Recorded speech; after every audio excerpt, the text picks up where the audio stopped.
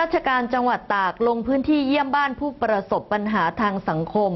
เนื่องในวันข้าราชการพลเรือนประจำปี 2564 ค่ะนายพงษ์รัตน์พิรมรัตน์ผู้ว่าราชการจังหวัดตากพร้อมด้วยนายสมชัยกิจเจริญรุ่งโรจน์รองผู้ว่าราชการจังหวัดตาก นางสาวจิราพรคำพุทธ พัฒนาสังคมและความมั่นคงของมนุษย์จังหวัดตาก เหล่ากาชาติจังหวัดตาก ชมรมแม่บ้านมหาดไทยจังหวัดตากหัวหน้าส่วนราชการ จิตอาสาพระราชทาน เทศบาลเมืองตากและผู้ที่เกี่ยวข้อง ร่วมกันลงพื้นที่เยี่ยมบ้านผู้ประสบปัญหาทางสังคม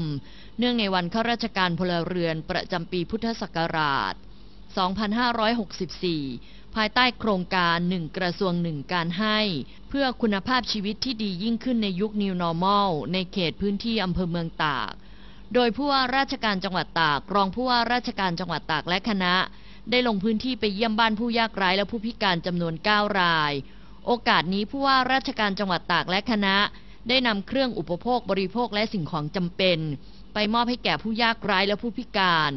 รวมทั้งพูดคุยสอบถามปัญหาความต้องการ และให้กำลังใจอีกด้วย